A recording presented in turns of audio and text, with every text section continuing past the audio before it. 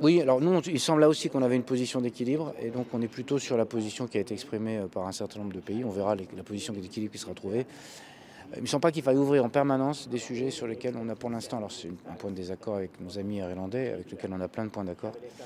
Euh, c'est une question culturelle aussi probablement, mais il y a des campagnes de sensibilisation qui sont faites dans tous les pays sur l'idée qu'il faille consommer avec modération de l'alcool. L'idée qu'on en rajoute de nouveau, il me semble que ce n'est pas un point d'équilibre qui est souhaitable.